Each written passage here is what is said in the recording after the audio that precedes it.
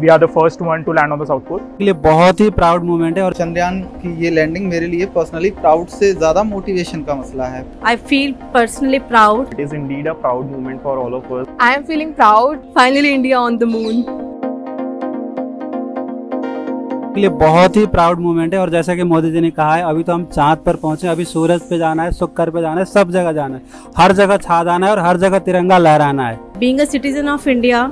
I feel personally proud that Chandrayaan 3 has successfully landed to the south pole of the moon. So every citizen I believe that should feel proud in this particular step because India is the fastest growing economy and going towards the right direction. Chandrayaan की ये landing मेरे लिए personally proud से ज़्यादा motivation का मसला है पिछले दो साल पहले जब ये अ, एक बार मिशन फेल हुआ था और उसके बाद बाउंस बैक करके जिस तरह से पूरी ये प्रोसेस हुआ है,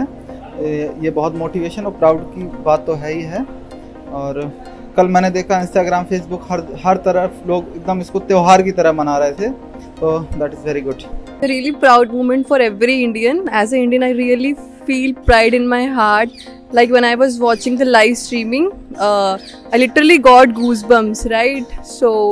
finally India on the moon yeah we became so happy uh, when chandrayaan 2 it was you know uh, so uh, prestigious moment that uh, yesterday uh, when chandrayaan was landed on the moon last time it, was unsuccessful but this time it became successful and we were so happy and so excited and we look further what information we get from the moon It is indeed a proud moment for all of us that we landed on the South Pole of the moon. And India, being the first country, has already created a history And we are so, so, so proud that being Indian, we can just witness all the things that are happening. I am feeling proud जब इस सोमनाथ जी ने मोदी जी को बताया कि Chandrayaan three land हो चुका है south pole पे ऑफ द मून सो मुझे उस टाइम सीरियसली बड़े गूज बम्स आ गए थे कि अब